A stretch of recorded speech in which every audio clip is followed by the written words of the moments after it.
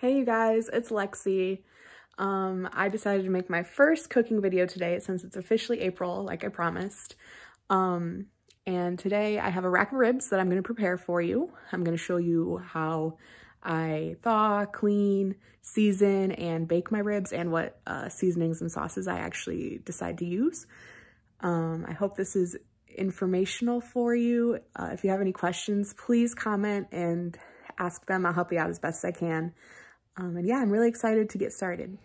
So to start off, um, I have had my ribs thawing in cold water, and it's probably room temperature by now. But I took them out at like noon, and it's about three, so they need at least three hours to thaw. Um, if you want to take them out in the morning, you don't have to put it in water, but I wanted it to thaw a little bit quicker because I didn't know I was making ribs. Tyler decided he wanted them. so um, I thaw them in cold water. And um, also I forgot to mention, please wash your hands before you cook. Um, some people, I guess some people don't know you're supposed to start off by doing that. Wash your hands. I used hand sanitizer just because of coronavirus as well. I washed and sanitized. But um, also you should wear your hair up to avoid getting hair in your food. But um, I'm cooking for me and my boyfriend and I really don't care. So I'm not putting my hair up. But yes, so cold water, um, at least three hours to thaw. And you can see here it's completely thawed. It's, uh, you can tell it's not thawed if you're not able to bend it, if it doesn't bend when you pick it up, if it's still rock hard. So it's ready.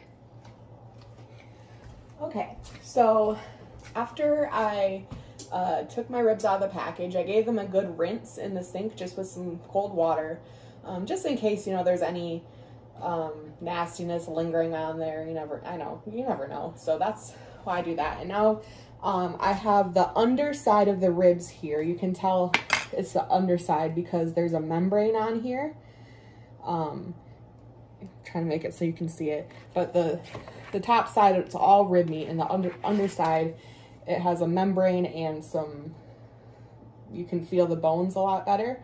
So I'm gonna start off by removing this membrane. And what this does, I'm just using a knife to kind of help me peel it off. Um, what this does is it makes it so that the ribs kind of get that fall off the bone feeling like um, they're a lot easier to eat. Membrane doesn't taste good. It doesn't really feel good in your mouth. This one's a little tough, but um, so yeah, you just want to get this. It's like a skin that ah, Jeez, oh Pete. It's a skin that holds kind of the ribs together. So this, when you take it off and you bake it, it makes it so the ribs will fall off the bone like you want. So I'm having a little bit better luck this time. Every rack of ribs is different. This time I'm having better luck just pulling it off. Sometimes you need a knife to help out sometimes you need to use a knife to do all the work, but this time I'm having a lot more luck just pulling it right off.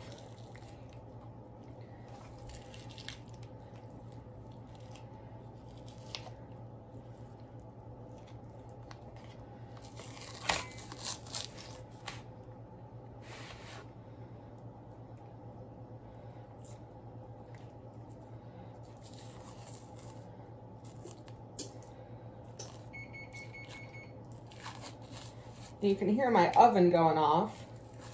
I set my oven at 280 degrees today.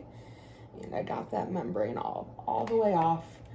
Some parts of your ribs actually don't have the membrane on it. You can, you'll see where it ends. Um, but I'll show you what my ribs look like now that I have the membrane off. Hold on, I'm gonna rinse my hands off.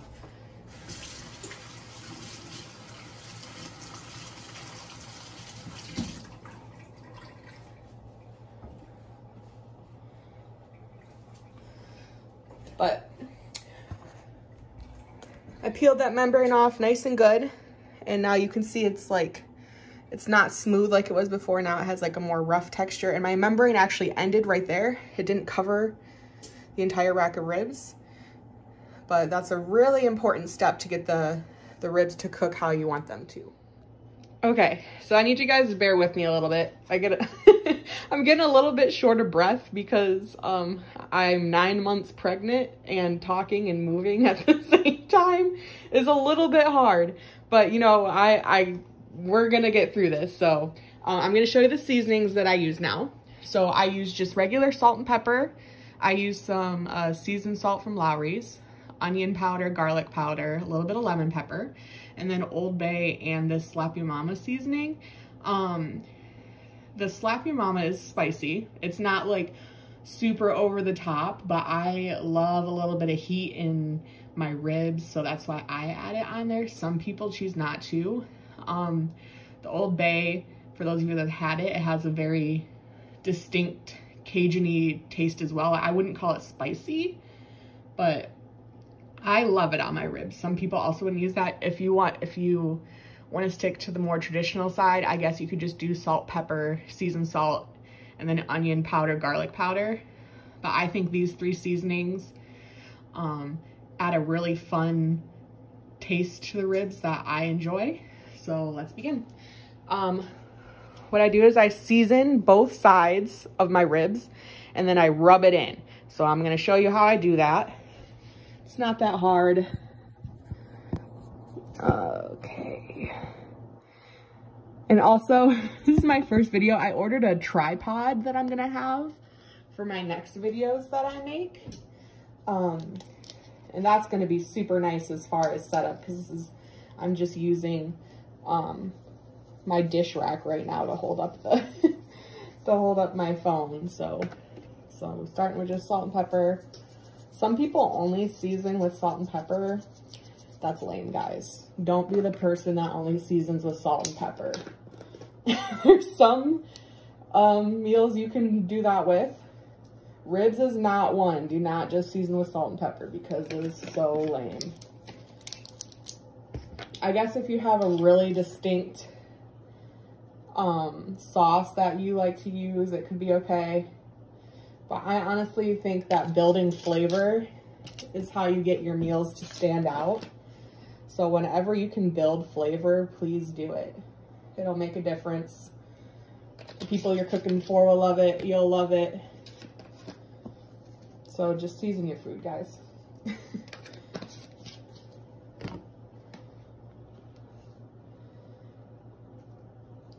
so how's everybody hanging in there? with this quarantine. I'm going a little kooky, not gonna lie. then you can see my cat back there. I've been talking to her a lot. But we're hanging in there, right? So as you can see, I now have, this is the underside where we removed the membrane. Um, I have it all seasoned on there. Now I'm gonna rub it in. And what this does is wherever there was some unevenness, I don't even know if that's a word, wherever you didn't evenly apply the seasoning to, this will help kind of spread it out there. And then also, this gets it to stick to the meat a little bit better. Um, the stores sometimes, you can find your own, what's called a dry rub for your ribs that you can use. That's already like a combination of seasonings. There's some good ones out there. Um, but I personally like to use my own combination.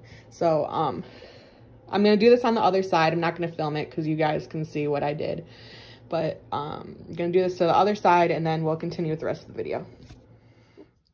All right, so I got my my ribs nice and seasoned. Look at that seasoning job. See, look at all that, all those colors and flavors on there. Like, why wouldn't you want to do that? So um, now I'm to show you how I prepare for my first um, cycle of baking. And what we're gonna do is we're gonna wrap this nice and good in tin foil. I got two slices of tin foil here. I'm going to cut my rack of ribs in half because I like my sauce one way and Tyler likes his sauce another way. Um, but you don't have to do, you don't have to cut it in half. You can do it however you want. You can keep it as a whole. You can cut it into quarters if you have four different people. I don't know, whatever you want to do. So I'm going to cut it in half. I'm going to wrap each half individually. And then I'm gonna put it in the oven here. And I'll show you how I'm gonna do that.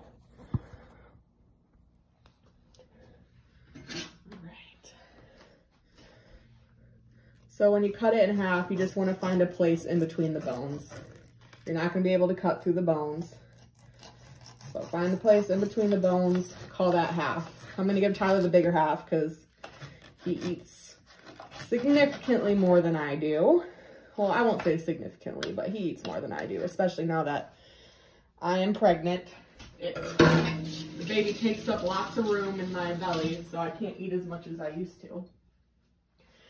And I got, like I said, I got two sheets of tin foil. So what I'm gonna do is I'm gonna wrap this up in that tin foil. What I like to do, and you'll see later why I do this, and I'll, I'll show it to you a little bit better, is I fold down the sides and make it like, almost like a little, like a little boat around, almost like a little boat around the ribs. And then I fold that over to cover it. And what this does is it keeps the juices around it. And then also, when I go in later to add the sauce, I can just easily, boom, open this right up. So that's why I do it that way. Um, it's not super important. You can wrap it however you want, but that's how I wrap it. So I'm gonna do the same thing on the other half as well. Okay, so um, it's now about 3.20. So we'll say the prep took like 20 minutes or so. I mean, I was video taping this whole time, so it'll probably be quicker for you. But because it did take like 20 minutes off, I decided to bump up my oven to 285. And now I am going to bake my wrapped um, ribs for two and a half hours. Um, for ribs, you always want to go low and slow. Um, you can Google some other, like if you have more time and you can go even slower and lower temperature, um, sometimes it's even better. Um, but I know Tyler gets off of work at 4.30. He's usually pretty hungry, so I'm trying to have it ready for him when he gets here. But I'm going to go two and a half hours to start off with. Um, and this is going to do the majority of the cooking of my ribs. And um, after the two and a half hours at 285, I'm to bump my oven up to 400 and I'm to add my sauces onto it um, and let those sauces cook in there for about 30 more minutes. So it's to be three hours total of baking, um, two and a half at 285 and then half an hour at 400. So let's get this started.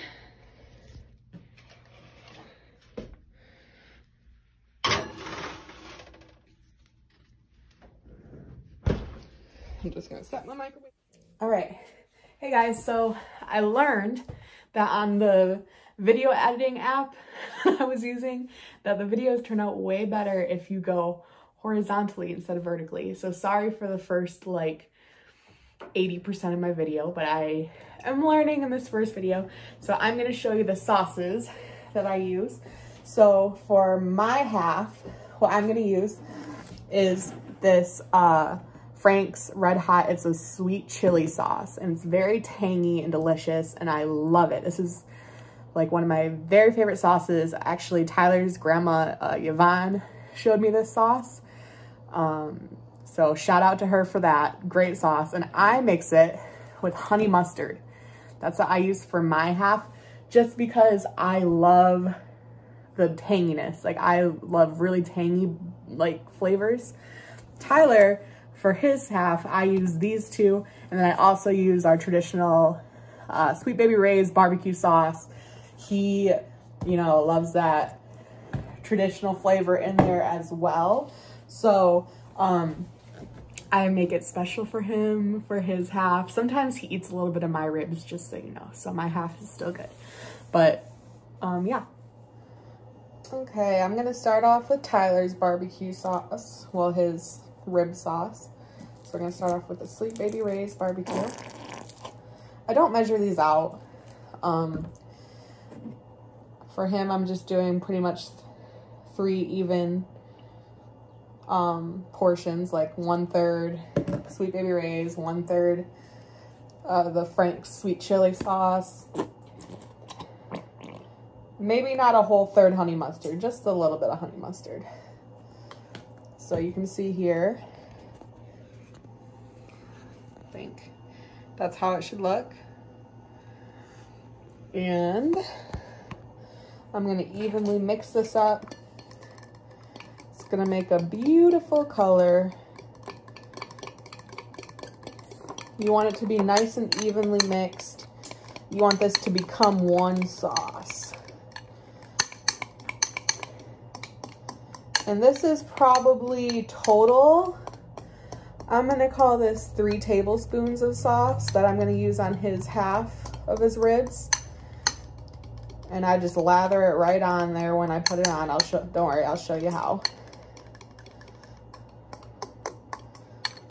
All right. I'm gonna add just a, a little bit more regular barbecue because I'm looking for a certain color that I know it's supposed to turn when it, oh yeah, there it is.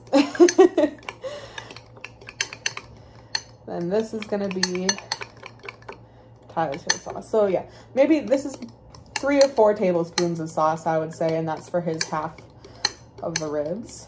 Smells delicious. And I'll show you that color that it turns. See that? It's beautiful brown, orange, yellow color, I guess. And it makes a nice, thick, delicious, tangy barbecue sauce. And for my sauce, I'm gonna say it's gonna be about probably two thirds of this uh, sweet chili sauce. Sorry, I got a phone call there, but two thirds of the sweet chili sauce, one third honey mustard.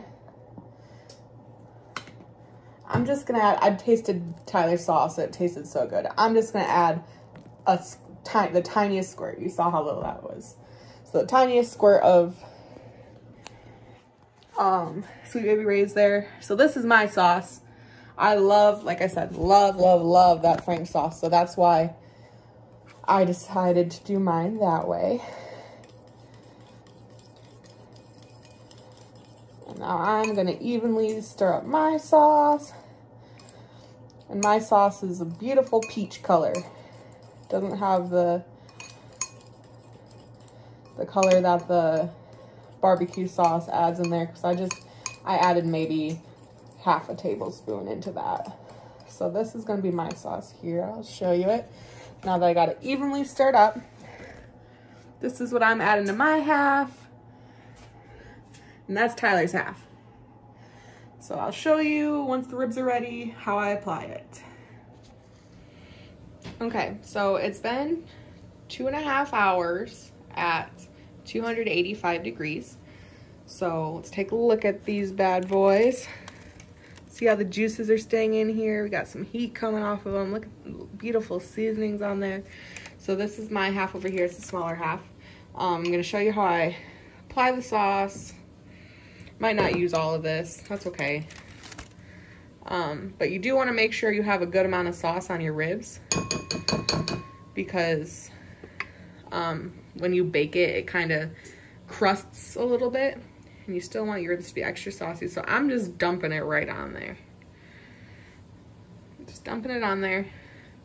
If you have a brush, they have like those barbecue little brush things. Those are ideal, but it's not necessary. I'm just gonna lather it on there with a fork. Nice and saucy all over my ribs.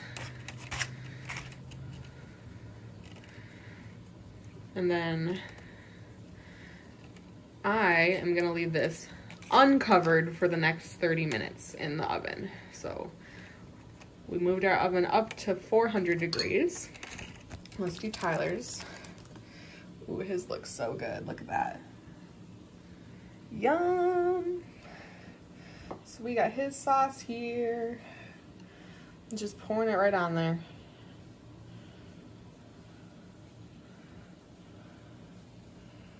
Nice tangy, rich barbecue sauce. It's nice and thick. And we're gonna rub his in. Sorry. Rubbing in his sauce. You don't need to do the underside. Some people choose to. I don't. Because you don't eat the underside, really. Mostly it's just the top half that you're eating. So now that I got these nice and coated with my two sauces, you can see the difference in color pretty well here.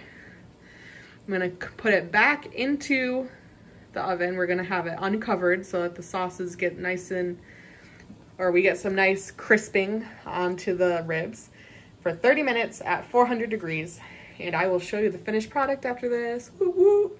Hey guys, I just wanted to add in one uh, quick comment here. So you want to keep, I mean, don't overdo it, but you want to continually check on your ribs after like probably an hour and a half to two hours of it cooking, just because every oven is different. Um, every oven cooks differently. Every, like, I don't believe that the heat's always the same. Um, because I found that the oven at this apartment here cooks a little bit quicker than my oven at our old apartment in Grand Rapids.